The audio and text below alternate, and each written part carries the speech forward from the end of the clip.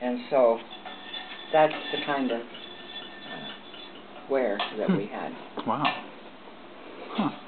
You, you could tell by the the green stripe. Yeah, and the thickness of it. Yeah. It's, yeah.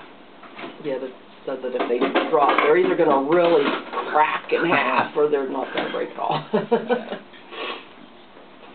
That reminds me of one time working in a in a Christian retreat center kind of place um, with a lot of young people that helped in the kitchen and stuff. One time, you know, they had the big dishwashing thing with the the the, the trays that go through. Oh, yeah. a- And that that uh, kind of a conveyor belt kind of thing. They go through the the automatic dishwasher, anyways, and carrying them back to where they're supposed to be stored. One kid tripped with a whole thing of glasses. Oh, and they all broke. Oh. Man.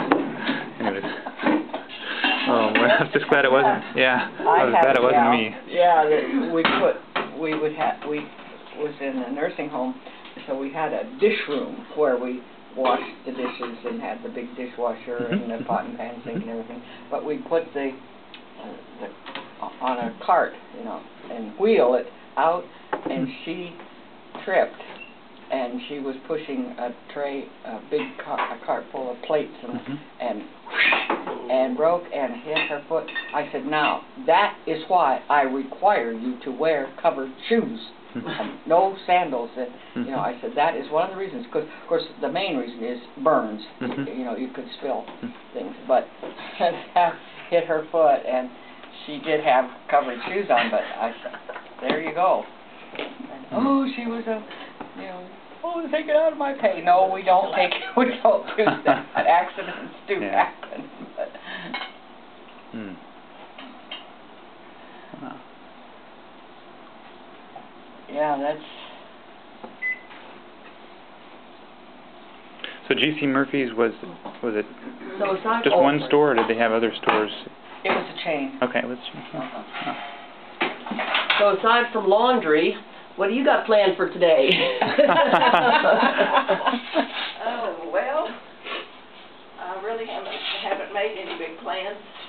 I go, may go walk at, uh, this little, uh, what used to be a, a mall, the first mall Amarillo had. has Amarillo grown a lot since you've been here? Yes, yes. Anyway, when I first moved here, I worked for an electrical wholesale place, and I, I typed invoices and did, ran a big old bookkeeping machine, you know, and, uh, the Sunset Center Mall was being built then. mm. So Hmm. I, you know, I remember typing a million invoices that things that were electrical stuff that was going out there. Anyway, now it's an art colony oh my word Ah, okay. basically, and all these little shops now have individual artists in them, and so it's a neat place to walk. yeah So we usually go there at eight thirty, uh, meet there. I meet a friend and we walk. Hmm.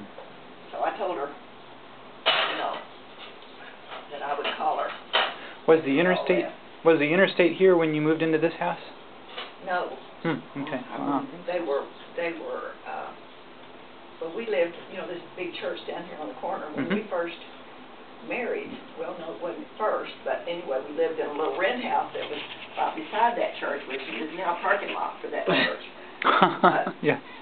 Uh, they were, they were moving out houses all there where the interstate is. Mhm. Mhm. And uh, they had these huge, uh, they were building these huge drainage Mm. deals, uh, you know, and they were putting in these big old pipes. Yep. My husband was really short. He was just barely five feet, five feet tall. Hmm. And, uh, he could stand up inside those. Oh my my word. And, uh, whoops. Not paying attention to my cook. I can't cook and talk. Well then never mind. Anyway, there was, but by the time we moved over here, which was several years later, when we bought this house, I'm not sure if it was actually, if it was finished, it might have been finished by then. Because that was about, well, our, our kids were four years apart and Carl was nine months old, so I'm sure it was. It was finished. But I remember it when we lived in that little rent house. So it was just a two-lane highway, wasn't it? A two-lane road? I don't know what it was before. Because when we came Hmm. Oh, in sixty-seven, we came from Michigan and drove, Yeah. and we would have driven through, we, we Well, went like Route six- sixty-six. I was gonna say, wouldn't it have been We- Route sixty-six? We, we drove Route Yeah. sixty-six all the way, Yeah, yeah. right. That's, And it was that's just now o- over across town, so I think this is a completely new route, maybe. Yeah, yeah, I think so, 'cause we came Route sixty-six and, Right, and it was two lanes. yeah, and it was just two lanes. But, oh, our kids just thought that was wonderful. the, the the trip, you mean? The trip, yeah, Yeah. come Route sixty-six, 'cause. you Oh, because it's so it- famous. Yeah, it was famous, and, and then, of course, um, but nowadays, you know, our grandson, Will, uh, he's twenty-four, but, you know, Route sixty-six, what's that? I mean, you know, they, they, they don't know about the historical value of Route sixty-six. It's just from Oh, There- kids, friends, kids watching the movie Cars. I've got the eggs done and I haven't made any toast.